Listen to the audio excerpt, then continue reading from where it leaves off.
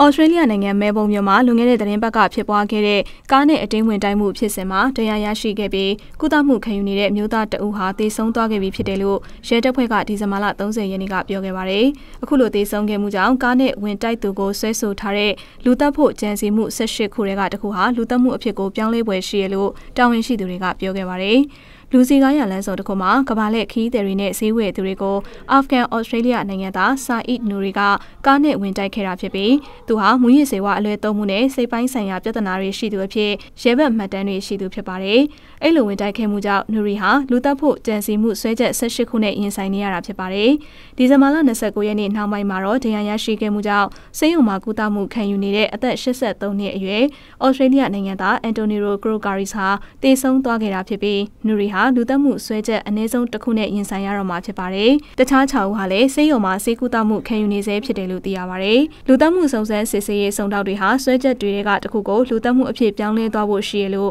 တာဝန်ရှိသူတွေကပြောခဲ့ပါတယ်။အဲဒီတိုက်ခိုက်မှုအတွင်းထိခိုက်ဒဏ်ရာရရှိခဲ့သူတွေထဲမှာတောင်ကိုရီးယား၊တရုတ်၊အီတလီ၊အိန္ဒိယ၊ဗင်နီဇွဲလား၊အိုင်ယာလန်နဲ့နယူးဇီလန်တွေကကမ္ဘာလက်ခီးသည်တွေလည်းပါဝင်ခဲ့တာဖြစ်ပါတယ်။နူရီကိုရဲတပ်ဖွဲ့ကဖမ်းဆီးခဲ့ပြီးမှသူဟာအစ္စလမ်ဘာသာဝင်တွေကိုနှိမ့်ချဆက်ဆံမှုကြောင့်အခုလိုလှုံ့ဆော်ခဲ့တာဖြစ်ကြောင်းပြောဆိုခဲ့ပြီးရဲတပ်ဖွဲ့ရဲ့စုံစမ်းစစ်ဆေးမှုတွေအရဘယ်အကြမ်းဖက်အဖွဲ့အစည်းနဲ့မှပတ်သက်ခြင်းမရှိဘူးလို့သိရပါတယ်။